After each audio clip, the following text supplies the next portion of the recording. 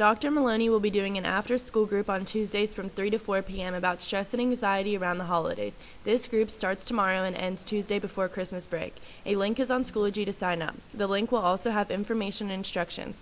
Please have a guardian send in a permission slip or pick up a permission form to participate.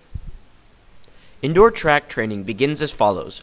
Boys today at 2:45 p.m., blue lockers, and girls tomorrow, Tuesday, December 3rd at 2:45 p.m. in the weight room.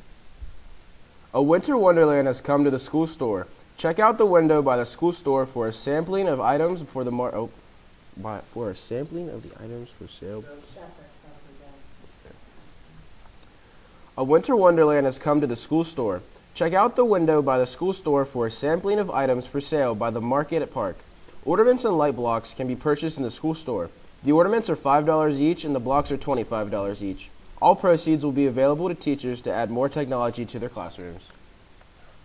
Festival of Sound is Friday, December 13th, and Saturday, December 14th at 7 p.m., and Sunday, December 15th at 2 p.m. Tickets are now on sale for $12 per adult and $7 per student. They are available in the main office.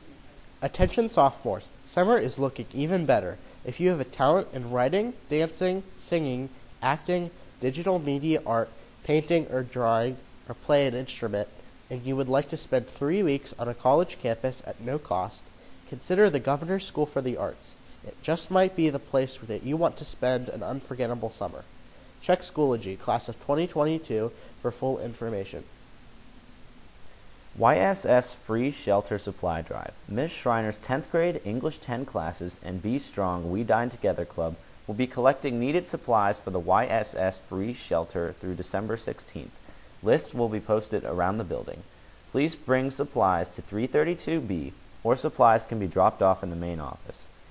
People also made monetary donations, which paid for 78 different items last year. We will take any donation you wish to give. Currently, our area has 200 plus homeless people, including five pregnant women living on the streets.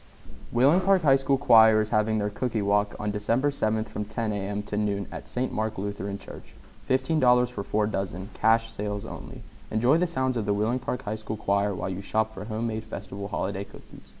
Clubs and activity period will resume in 2020. Interested in history? A new club is being planned by our history department.